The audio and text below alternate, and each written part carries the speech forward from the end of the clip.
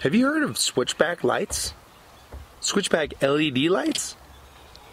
I haven't. Not until now.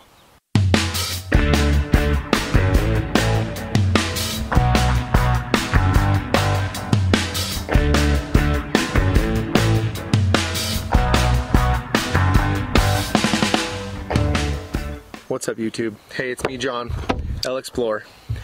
So today, I'm going to bring to you something that I think is completely amazing. I don't know how they do this, but I, I think it's awesome. So LasFit, what they did is they sent me LED switchbacks for the for my 2002 Lexus LX470 100 series Land Cruiser. So I don't believe they make them for the 100 series, the Toyota version, uh, but they're always developing new products. This particular one right here operates in the low beam position. I'm like, well, how do you how do you turn it on? Is it through a button? Is it through a separate switch? Like, how does it work? Well, it's actually all on the actual little knob at the end of your turn signal indicator. That right there, if you turn it off and turn it back on, will activate four different positions for the switchbacks. So the first position when you turn it on is bright light. That's 4200 lumens of bright white light, which the color temperature on that is going to be at 6000.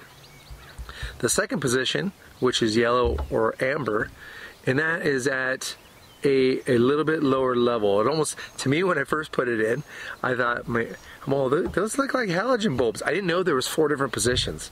Shame on me, I should have read the instructions. So the first position looks like halogen bulbs. I'm like, this is pretty lame. But, you know what? There's probably a purpose for that, right? I switched to the second position after I read the instructions. Boom, 4200 lumens, bright amber slash yellow light. And I'm like, wow, that is pretty cool. And, and that color is at 3000K. Switch it to the fourth position. Flashing amber lights at 4200, or sorry, 3600 lumens. Flashing. That is pretty cool. Like, yeah, you never know. Like, you're on the side of the road, you know, and nobody's gonna sit there and flash their their high beams when they're stopped. They're gonna put their their hazard lights on. Well, this one, you can also put on your your ambers. Or say you're you're slow moving and you're you're uh, at the Baja races or some other race, and you have other a ton of people that are racing around, and you just want people to know that you're there. Even though you're a great big giant SUV, you still need those lights. Is this a necessary item? No. Is it pretty cool? Heck yeah. So, this video is going to be is not going to be an installation video. It's just going to show you what these bulbs look like. So, stay tuned. I'll show you exactly what these bulbs look like in comparison to the LED bulbs uh, from LasFit. And then I'll show you when the when the sun sets, uh, all four uh, positions. All right, let's check it out. All right, so in the box, you get your product manual, and then you also get a card for LasFit's Elite Club. Now, the old bulb, the old bulb looks just like that. So remember, it has a aluminum shaft, aluminum heatsink fins, and then has a steel body with a fan steel braided line with two spade lugs at the end. Now, the new switchback looks identical. However, the heatsink is a little bit larger and the fan body is actually a little bit larger as well. Uh, as far as the shaft is concerned, they're about the same height. so then you can see that the chip on there the chip on there is there's two chips, right? As compared to the LED one or the uh, white light one.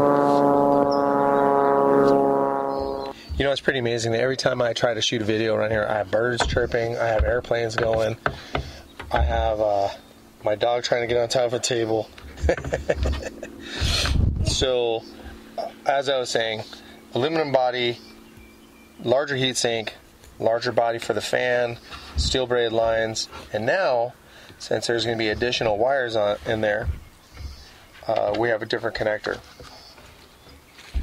So it comes with a I don't even know what to call it. So I'm gonna call it like a processor of some sort, right? Uh, this is all aluminum body. You have two steel braid lines coming out, the spade lugs, and then the connector that connects directly to the light. So for those of you that modified a dust cap and you switch to these, you're gonna have to enlarge that hole and insert this piece right here because there's no way that this is going to fit inside the actual housing or that projector housing. So you'll see right here, it's got four little pins, right? And then right here, there's also the four, or I'm sorry, four holes with four pins, and there's a little black plastic pin in there that fits on top, so you can only fit it in one way. Once that goes in, all you have to do is to secure it is uh, twist it, twist it clockwise to lock it in place. Alright? So let's go and check to see what it looks like at night. Alright, like I said earlier, this isn't going to be an install video, but I have a pro tip. The pro tip is I, have had a lot of questions where people are asking me about this little piece because on the other ones the other LED lights for the low beam on the on the Lexus were plastic, so it was a little bit thicker. So people were like, "Oh, oh, this thing's moving." Well, I fiddled with it, and you can lock it in place. So these aren't permanently attached, not all of them, right? So just a slight little tug, it'll slide right off. There's little rubber gaskets or grommets right there that hold this in place. So what you do is you install this first. Because on a Lexus, you have two little wires, right, that are all connected and they lock in place. So if you install this first and then slide this in place, right, because the light will have to go in in a certain direction, like these really can't be twisting on the inside.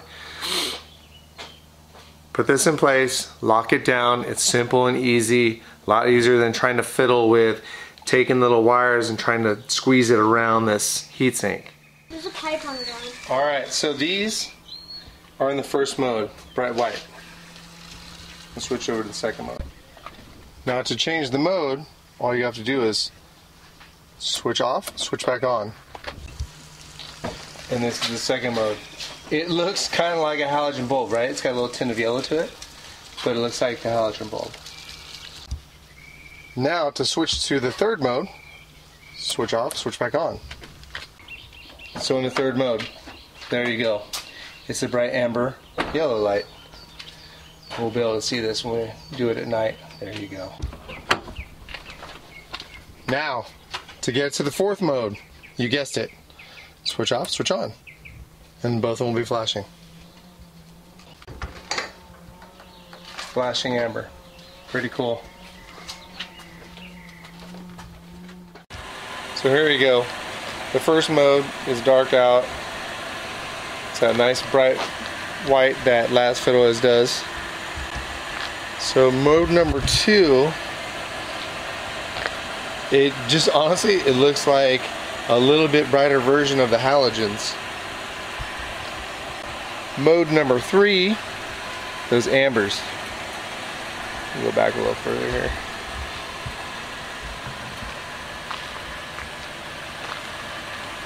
Kind of hard to tell from this distance, but when you're right on,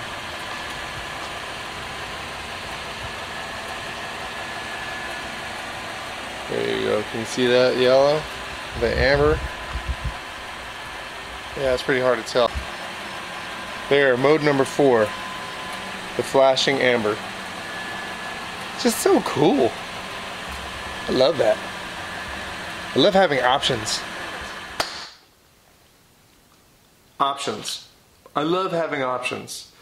you know, right there, I have it all. I can put my amber lights on and, and go down go down a dirt road and and not have to worry about buying you know additional amber lights you know?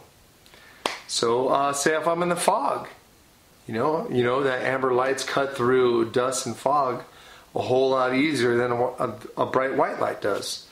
So that's not too bad. And that's something that maybe you know I'll revisit this this video in, in the future and we'll see a, little because uh, I, I, do plan on in a couple weeks heading out to Arizona and maybe I hit some dirt roads and see how that how those amber lights cut through the dirt or the dust. And if I run into fog, boom, I'll post that too. So, anyways, please like the video, subscribe if you already haven't, and we'll see you on the next one. All right?